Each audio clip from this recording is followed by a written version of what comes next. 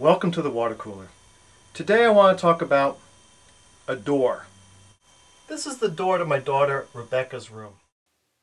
This is my daughter Rebecca herself. If she looks formidable, that's because, well, she is. Like many an adolescent, she uses the door as a canvas for self-expression and for presenting her attitudes. As you can see, she has quite a few attitudes. What particularly interests me is this statement over here